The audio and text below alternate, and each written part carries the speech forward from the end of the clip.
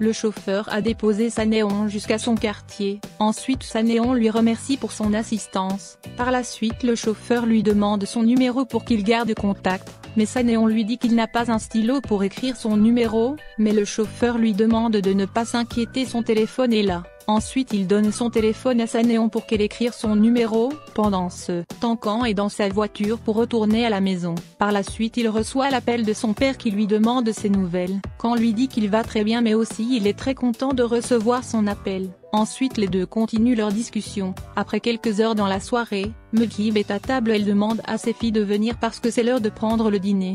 Par la suite Nia arrive et demande à Mokib pourquoi elle veut rivaliser avec son mari, mais Mokib lui demande d'arrêter d'utiliser des gros mots en plus qu'ils ne sont pas des ennemis. Par la suite les filles arrivent pour prendre le dîner, mais Mokib a remarqué que Sanéon ne va pas bien et lui demande ce qui se passe. Sanéon lui dit qu'elle est juste fatiguée à cause de son voyage d'affaires. Par la suite Mekib sort ses produits bio et elle demande à ses filles d'utiliser les produits bio parce qu'il est bon pour la santé, mais Nia refuse d'utiliser les produits de Mekib. Pendant ce temps Kan est dans la cuisine pour préparer le dîner. Par la suite Mir arrive il demande à son frère ce qui se passe, pourquoi il est silencieux depuis son retour ou bien il est en colère? Contre lui, mais quand lui explique sa discussion avec son père, ensuite il demande à Mir pourquoi il a refusé de parler avec leur père, Mir reste silencieux pendant un instant par la suite il dit à Khan qu'il était en colère contre leur père, lorsque sa mère l'a expliqué tout ce que leur père a fait pour lui faire souffrir, ensuite les deux continuent leur discussion par la suite Mir demande à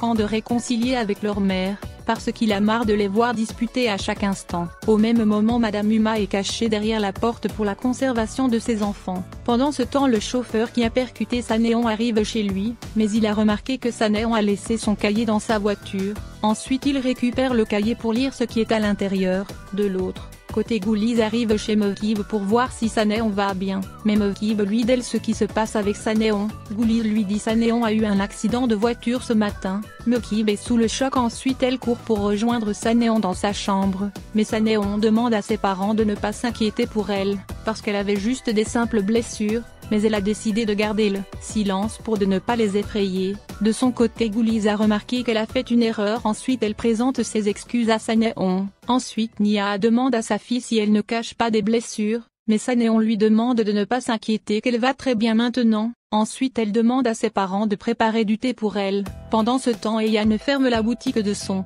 frère pour rentrer à la maison. Par la suite Gégé arrive mais Eyan lui dit qu'il est en retard parce qu'il a déjà fermé le boutique. Mais aussi s'il veut elle peut ouvrir pour lui donner des stacks. Ensuite Gégé commence de lui caresser en lui disant qu'elle est très romantique. Mais Eyan repousse sa main elle demande à Gégé d'arrêter ce qu'il est en train de faire, parce qu'elle est maintenant un boucher. Ensuite elle demande à Gégé s'il a besoin de la viande ou autre chose. Mais Gégé est prise par la peur il demande à Eyan de lui éloigner son couteau. Ensuite les deux continuent leur discussion. Par la suite Gégé annonce que Sanéon a eu un accident ce matin. Au même moment Ousmane arrive à son tour il a tout entendu, ensuite ils s'en vont tous chez Sanéon pour prendre ses nouvelles. Au même moment Madame Huma est à table avec ses enfants, ensuite elle demande si Sanéon va bien maintenant, Mire lui dit qu'elle va bien parce que c'était un léger accident parce que parfois les chauffeurs conduisent sans regarder devant, mais quand lui dit le chauffeur n'a rien fait parce que c'est Sanéon qui a traversé la route sans regarder. Ensuite ils continuent leur discussion Madame Huma trouve la nourriture très délicieuse.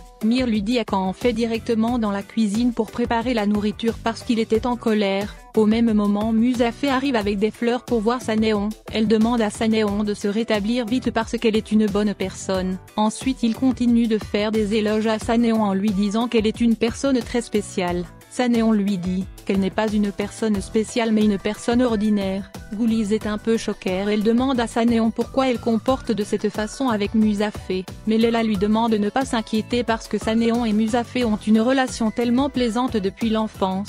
Par la suite Musafé demande à Eyan et les autres de rentrer pour laisser Sanéon de reposer, ensuite. Musafé accompagne Gouliz à l'extérieur pour prendre un taxi, par la suite Musafé veut entrer dans le taxi accompagner Gouliz jusqu'à chez elle, mais Gégé a tiré sa main pour lui empêcher. Ensuite Musa fait descendre mais il demande le chauffeur de déposer Gouliz en sécurité jusqu'à chez elle. Au même moment Ousmane discute avec Sanéon pour lui demander ce qui se passe réellement, mais Yann lui demande de laisser Sanéon un peu reposer jusqu'à demain parce qu'elle est fatiguée en moment. Ensuite Ousmane serre Sanéon dans ses bras pour lui dire au revoir.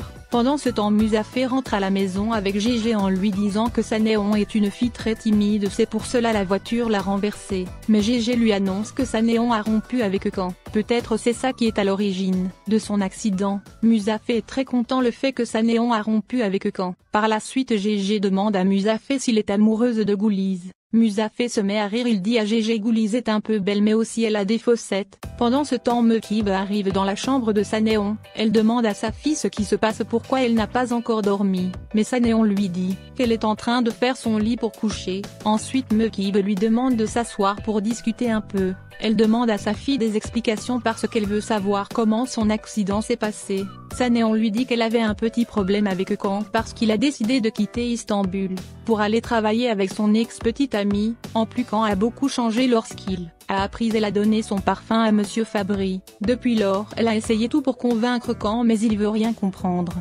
Ensuite elle commence à pleurer, mais sa mère lui demande de ne pas pleurer peut-être quand a besoin du temps pour réfléchir un peu. Ensuite Sanéon lui annonce qu'elle a démissionné de son poste à l'entreprise, parce qu'elle peut pas rester là-bas pour continuer de souffrir. Ensuite sa mère lui serre dans ses bras pour le consoler, en lui disant qu'il faut du temps pour réparer un cœur brisé, mais aussi elle doit arrêter ses pleurs. Pendant ce temps quand est couché par la suite il pense sa balade avec Sanéon au bord de la mer. De l'autre côté Sanéon reçoit un message du chauffeur qui l'a renversé qui lui annonce qu'elle a oublié son cahier dans sa voiture.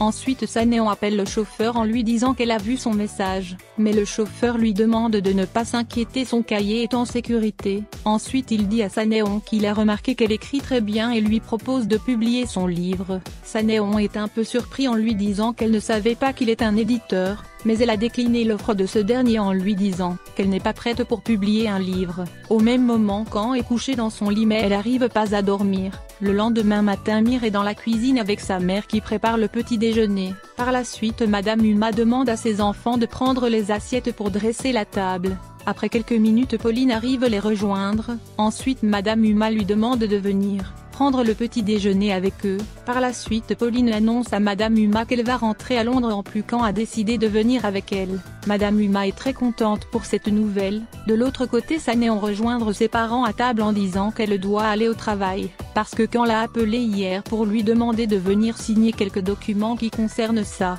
démission. Au même moment Musafé marche seul pour se rendre dans leur magasin de bio. Par la suite il croise avec sa mère qui essaye de lui parler, mais Musafé refuse de discuter avec elle. Il demande à sa mère si elle a oublié qu'elle l'a chassé de la maison.